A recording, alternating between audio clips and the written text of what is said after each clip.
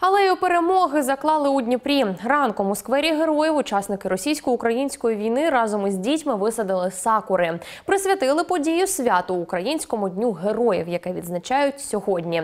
Сергій Романенко пішов на фронт з перших днів Великої війни. Чоловік служив у розвідці в одному з бойових завдань, отримав поранення і тепер не може повернутися на передову. Пан Сергій ділиться, висаджував алею в пам'ять про своїх полеглих побратимів та заради нащадків.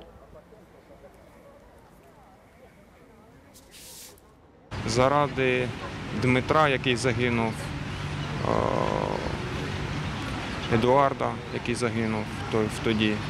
Тобто багато людей б загинув. І, і мені здається, що це треба, треба робити, да? щоб ми знали, щоб е, майбутнє п- покоління знало, за що ми тут стояли. Пане Сергій, поділіться, з якими думками садили ось це дерево? Пусть, пусть дерево про- прорастет на радость всем. От такі думки в мене були. Ми хочемо висадити алею сакур, яка буде символізувати нашу перемогу, наше відновлення країни. Після того, як буде наша перемога, країна відновиться, країна стане ще кращою. Це наше сподівання, це наша надія.